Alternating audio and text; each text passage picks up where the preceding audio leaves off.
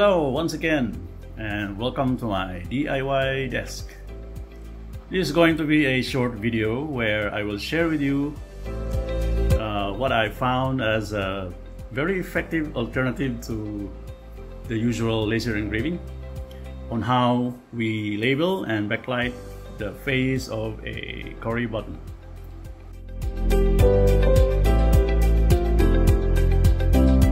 As you can see here, we have uh, pieces of 2 millimeter translucent white acrylic pre-cut into 16 by 16 squares. Uh, I don't know if that's the actual measurement, but uh, based on some technical specs, the actual face of a overhead Korry is actually 16 by 16. Uh, so let's get started.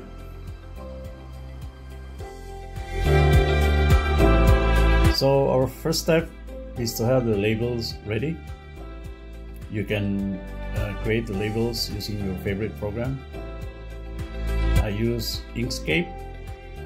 Um, my UV printer shop requires the file to be in PostScript line art, so I saved my labels as EPS file. Of course, you can use any of your favorite program like Adobe Illustrator or CorelDRAW as long as it saves to a format that is supported by your local UV printers. The font I used is Arial Rounded BT.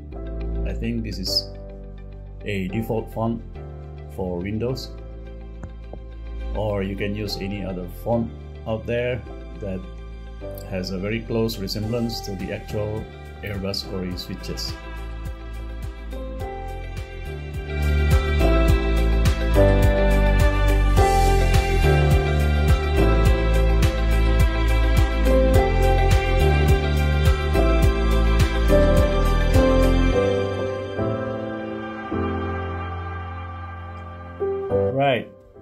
So straight from the printer, one thing is immediately noticeable. They look a little too glossy for my taste and there's a bit of texture on the surface. So to solve this problem, I use a matte clear coat spray which is also polyurethane. So this is the matte clear coat that I use from Do It. It's a polyurethane.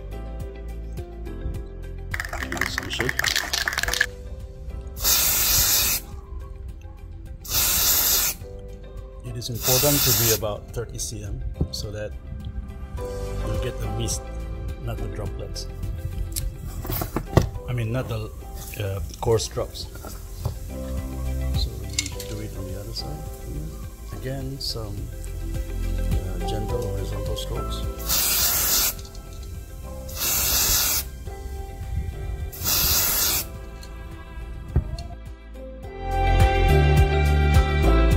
This is how they look now after two coats. This is a very quick drying polyurethane. Within 2-3 minutes you can apply the second coat already. Now look at how they look like. Pretty much like a gunmetal. So after the uh, matte clear coat, this is how they look like. Uh, much better than how they look originally, which is very glossy.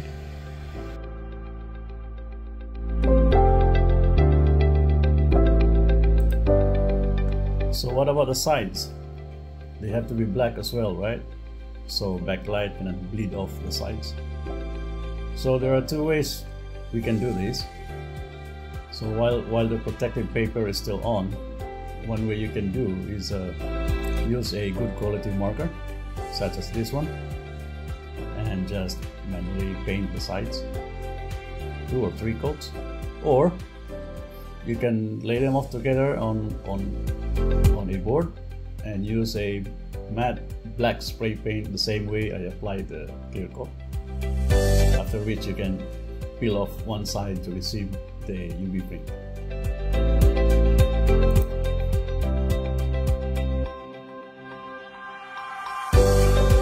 Right. So next question is how do we attach this on the face of the Korry? Now that will depend on your Korry design. uh, for my case I'll just use a CA glue to fix this on top of the inner piece of the Korry. Uh, using a CA glue, I use this brand or this brand. This is a this is a rather stronger uh, type. You have to be careful to use this because uh, you only have one or two seconds when the two surfaces meet. You will not be able to adjust it because it's very very quick drying and very strong.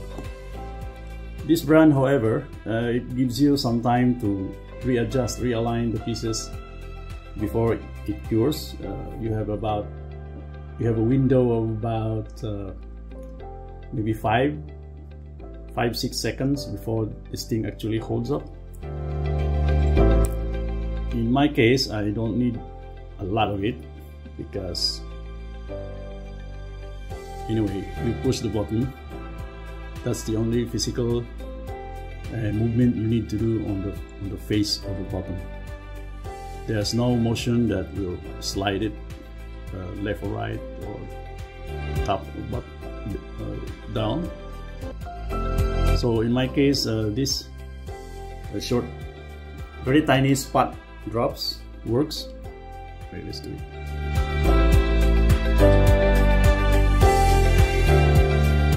As you can see the Scotch brand actually allows you to adjust it. But you have to do it quick because you have about five six or maybe seven seconds to to move the thing until it dries up and you cannot move it no more